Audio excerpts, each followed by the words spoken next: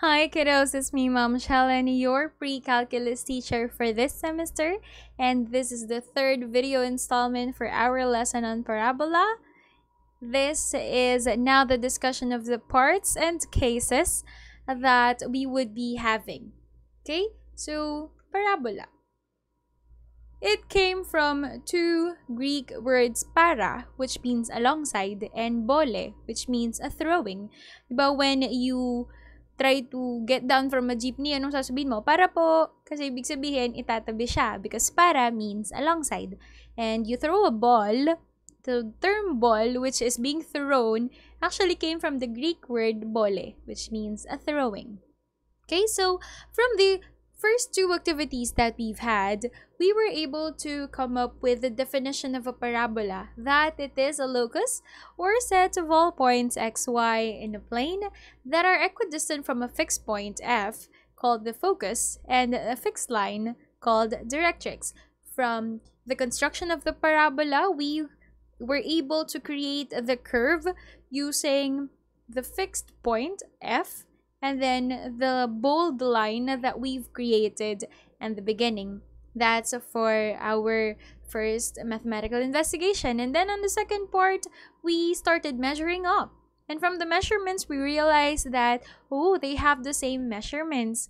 Uh, when we measure from F to the certain point and then from the point perpendicular to that line, they have the same measure.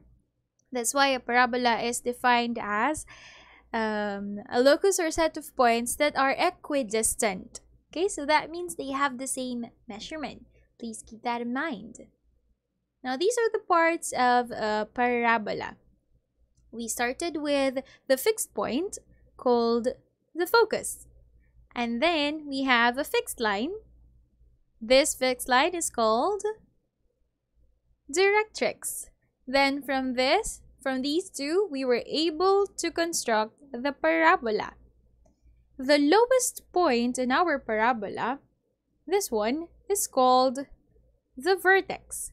This is also the midpoint between the focus and the directrix. So that means this divides the measurement between the focus and the directrix. When a parabola is divided into two equal portions, this is now what we call the axis of symmetry.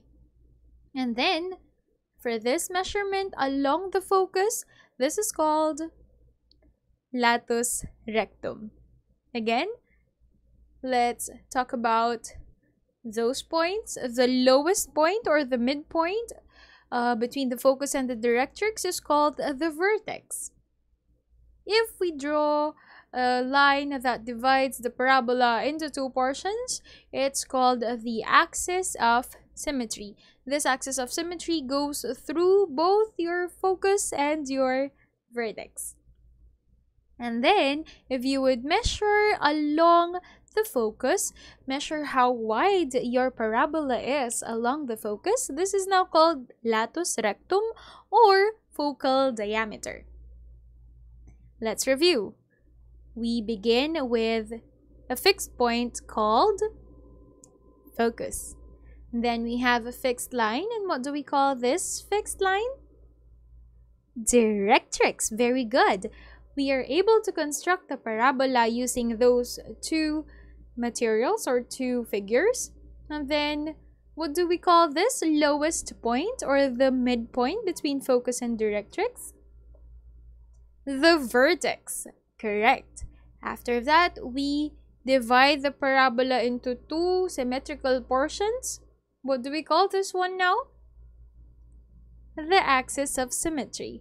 Next, measuring along the focus, what do we call this portion? This is now called the latus rectum or focal diameter. So these are the parts of a parabola. Now a parabola has four cases. We have the first two, a parabola that opens up, a parabola that opens down. And these are the characteristics. So let's begin with the opening upward and downward. You would notice that both have the equation or uses the equation x squared equals 4py. However, when it opens upward, the other side or the equated part is positive. When it opens downward, the equation part is negative. That is because we are considering where the points in the parabola would belong to. So a parabola opening upward has a positive equation because all the numbers there would now be positive. A parabola opening downward with vertex at 0, 0 now uh, is actually facing the negative portion of our y-axis. That's why our equation is also negative. Now, you might be wondering why is it x squared? Because if you would notice, we have two points that would correspond to an x variable. Thus, we have x squared. So we also have our focus, the coordinates for the for for the focus. So we have here for our parabola opening upward, it's 0p and then for the parabola opening downward, since it's found on the negative of the y-axis, we have 0, negative p. There we go. Next, for the directrix, it's just opposite of the variable here. So if we have an x squared as our equation, the directrix would automatically be y because your directrix will be passing along the y-axis. Kaya your equation is also y. Okay? uh, for the parabola opening upward, you would notice that the directrix is negative because it reflects the focus. Remember, this is your focus and then it is reflected down here. Now, if your focus is positive, automatically your directrix is negative if the vertex is at 0, 0. Contrary to that, if the focus is uh, here at the negative side of our y-axis, since it's opening downwards, then your directrix now will be found above. That's why you have a positive uh, directrix here. Now let's look at the parabola that opens to the left and to the right. To the left, to the right, yeah. Okay, so uh, the parabola that opens to the left and the right now have y squared as its equation contrary to the previous two cases which opens up and down we have x squared. This time we have y squared okay? Because we have 1 and 2 y coordinates so that would be derived from your points here okay? So when it opens to the left that means it opens to the negative side of your x-axis thus your equation is also negative. When it opens to the right that means it opens to the positive of the x-axis thus your equation here is positive as well.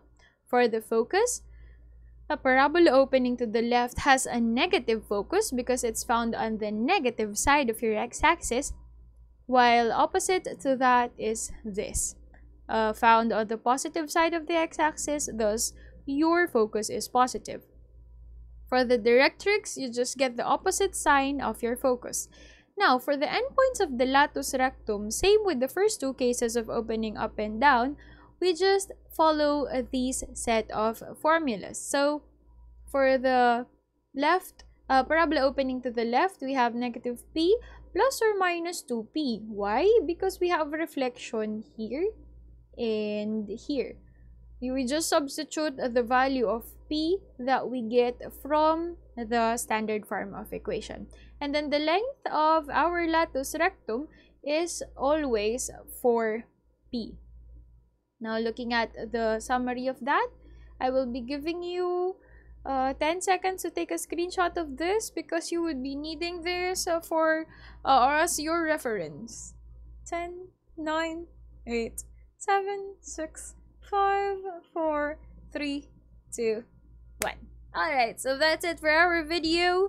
Uh, we have the next video about the discussion on identifying parts given the graph of the parabola. See you on the next video I never made it, but I know.